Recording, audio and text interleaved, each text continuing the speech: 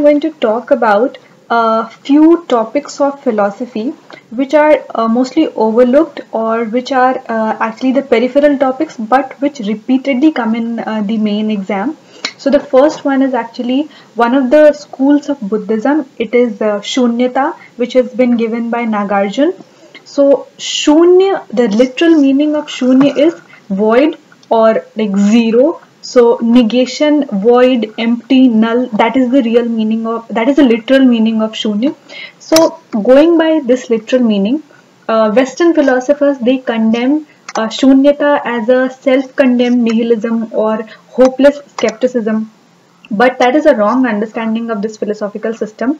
Uh, Shunyata is actually a wide philosophical system that has a huge metaphysical infrastructure and they give arguments for these, this infrastructure and the meaning of Shunya is completely different from uh, shun, uh, null or void.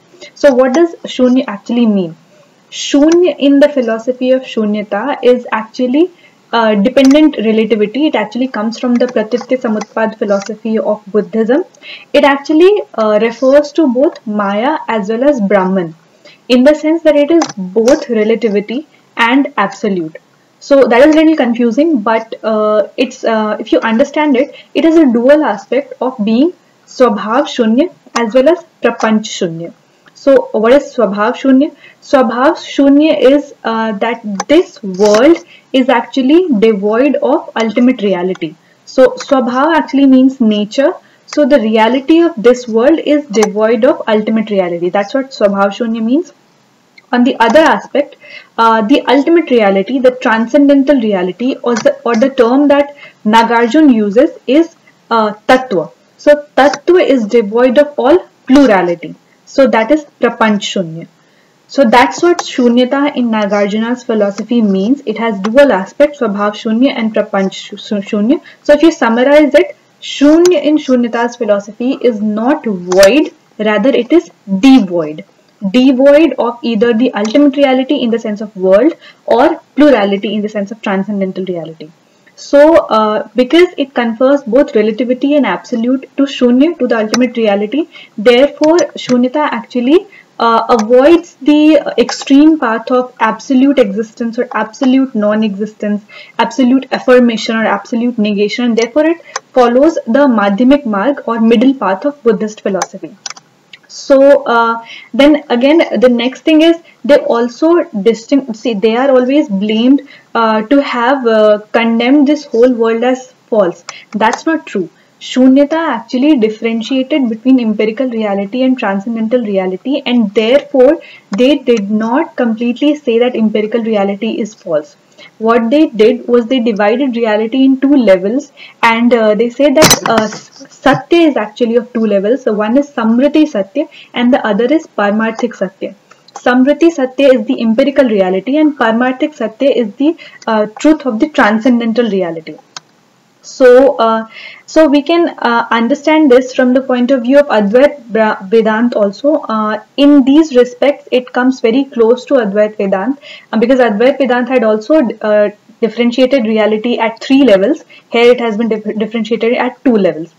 Uh, next, uh, it also uh, talks about nirvana in the sense that nirvana is actually uh, becoming identif identified or merger with tattva Tattva, as we said, that it is uh, the transcendental reality or bodhi or pragya or consciousness, the ultimate consciousness.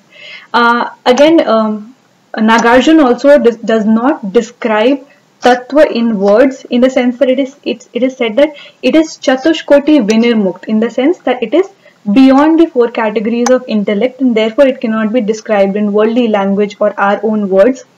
Uh, here also he describes uh, nirvana or chatushkoti vinirmukt in terms of uh, negation of different characteristics as we have seen in the sense of Shankara's philosophy where it says that uh, neti neti. So here also it gets very close to Advait Vedanta. Now the next thing comes that there are a number of charges that are leveled against Shunyata and Nagarjun tries to answer all those charges. The first one is, uh, it is said that uh, the first one is obvious that uh, Shunyata uh, confers like void to every reality. Uh, says that Shunyata is not void. It is actually the theory of dependent origination or relativity itself. Second is uh, they ask that uh, Shunyata, if Shunyata says all arguments are wrong, then by that means uh, Nagarjuna's argument also gets wrong. Nagarjuna answers that it does not say all arguments are false. Rather, it says that all arguments are right from the empirical point of view, but they are false from transcendental point of view. So, from that point of view, Nagarjuna's argument also holds true, but it is devoid of ultimate reality. And the third level, uh, third charge leveled against them is uh, there is no praman to establish sunyata, shunyata. Uh, Nagarjuna answers that a praman cannot be established by another praman, a praman cannot be established by another cognition also, and a praman cannot be established at random. So therefore a praman cannot be established for shunyata. Anyways, they have already said that shunyata is beyond the categories of intellect. So that's what the answers of shunyata are. So uh, the, any question that will be framed in civil services for this philosophy would be around whether shunyata is a skepticism, whether it is nihilism, uh, what are the charges against, how, how does it answer and all those questions or its comparison with Advait Vedanta. Even if the comparison is not as you have to mention the comparison aspect. So that's what the uh, first school of Buddhism that is Shunyata is. Thank you very much. Bye bye.